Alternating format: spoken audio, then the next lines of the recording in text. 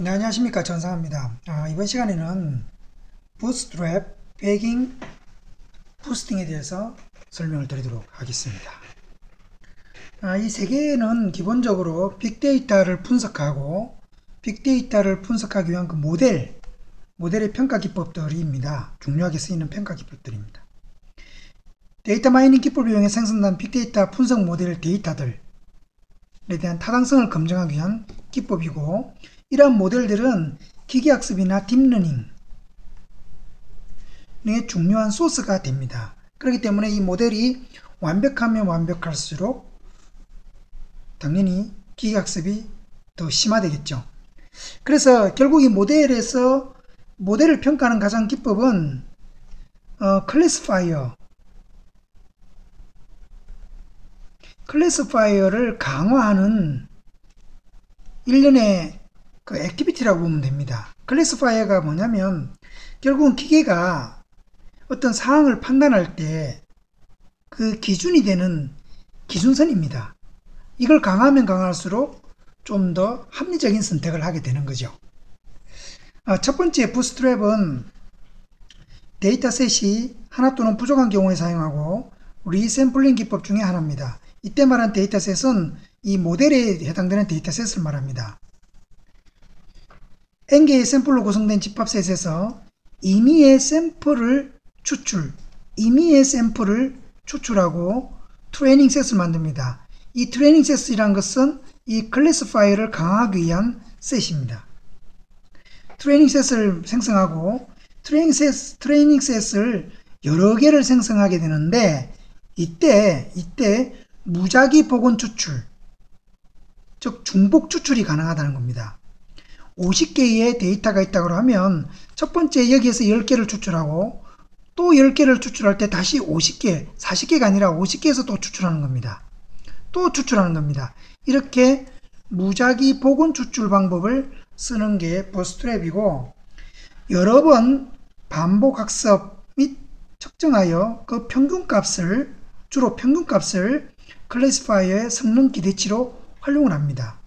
계속 반복해서 어, 첫 번째 첫 번째 training set에서 나온 아웃 데이터를 그 다음 그, 그 다음 training set에다 넣기도 하고 아니면 전체 training set을 통째로 평가한 다음에 classifier 성능 기대치로도 활용한다는 거죠.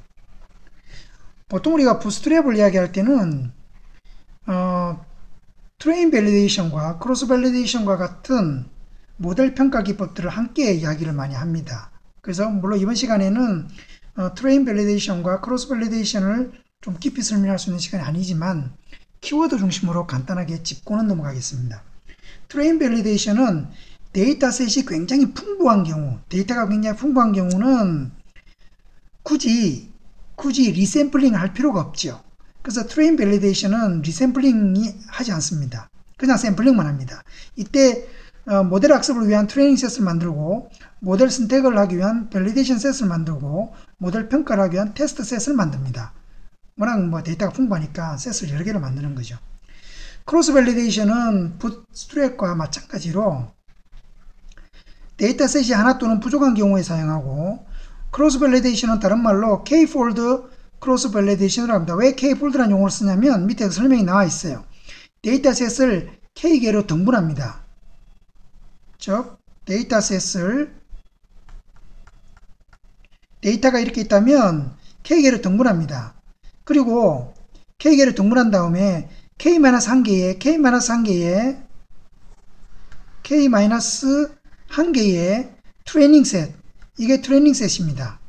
그리고 한 개의 test set을 만드는 거죠. training set과 test set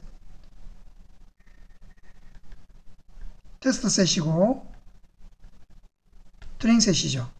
그리고 이걸 한번 이게 원 폴드입니다. 그 다음에 계속 내려가서 여기 있는 이 테스트 셋을 두 번째로 갔다가 또 그 다음 가면 세 번째로 갔다가 또 그 다음 가면 네 번째로 갔다가 이렇게 언제까지 이 끝까지 끝까지를 계속 돌립니다. 계속 그 어, 테스트 셋을 1부터 k번째까지 계속 옮겨가면서 반복 수행을 하는 거죠. 그 평균값을 이제 classifier에 활용하는 겁니다. 그게 이제 cross valida 그래서 cross check가 cross validation 가능하다 이런 의미로 어, 쓰이는 거죠. 자, 요거는 뭐 참고로 알아두시고요. bootstrap 다음이 이제 bagging입니다. bagging부터는 이제 앙상블이라고 그래서 어, 우리가 보통 앙상블이라고 하는 것은 그 데이터를 막 합치는 의미. 앙상블이라는 것은 뭐 조화 또는 뭔가 합침의 의미가 있습니다. 그 앙상블의 종류는 bagging 있고 boosting 있고 random forest가 있습니다. 대표적인 알고리즘입니다. 첫 번째 앙상블의 한 종류인 bagging은 bootstrap bootstrap aggregating의 합성어입니다. 약자입니다. 약어. 그래서 bootstrap, bootstrap의 집합체라고 보통 표현할 수가 있고 bootstrap의 training set을 결합하여 예측 모델로 그냥 모델로 만드는 걸 말합니다. 즉 어, bootstrap은 좀 전에 설명드린 것처럼 임의의 샘플을 추출해서 training set을 여러 개를 만들잖아요. 그죠?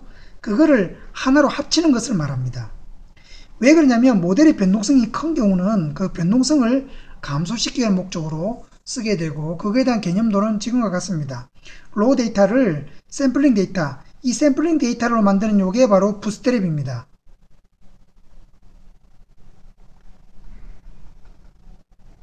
bootstrapping이고 그 bootstrap으로부터 classifier를 만들지요.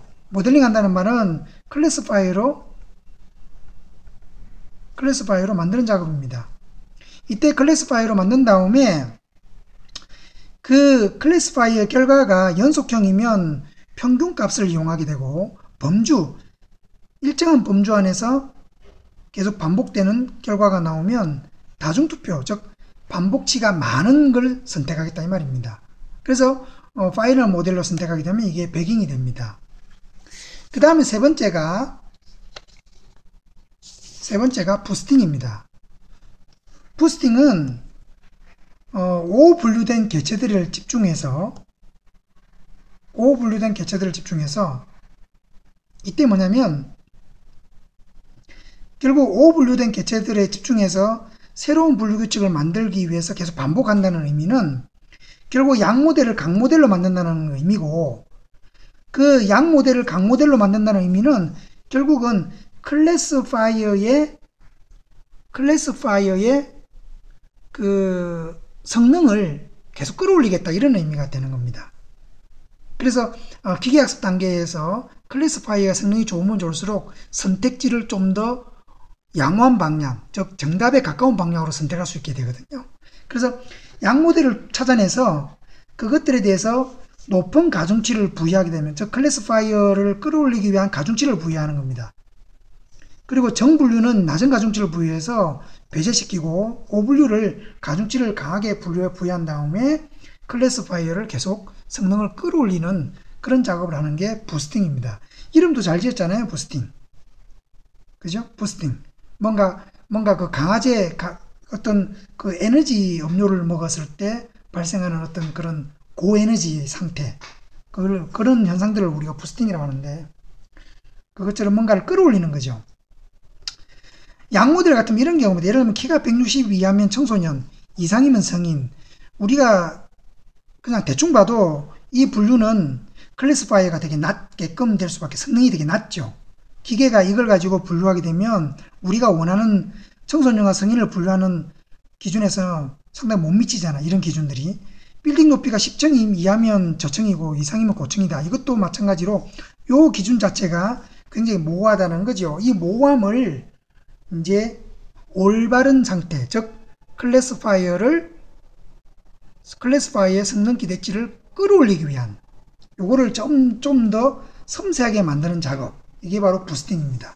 그래서 그림에도 보면 raw 데이터에다가 weighted raw 데이터 이 weighted라는 게 결국은 가중치를 부여하는 거죠. 계속 가중치를 부여해 나가서 결국 final 모델을 만들어냅니다.